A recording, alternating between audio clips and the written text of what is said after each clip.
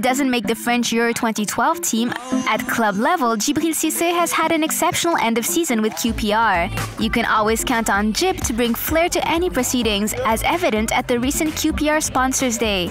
Mark Hughes, manager of the Hoops, as QPR are also known, seemed to agree. Jib is what you see. He's a fantastic character, great personality, and uh, no little skill as well.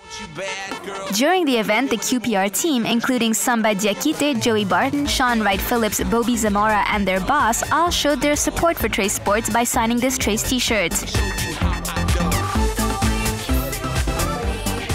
So a big thanks to our flamboyant ambassador, the one and only Mr. Cissé. Trace, I watch you all the time, you know. Trace Sports. We love champions.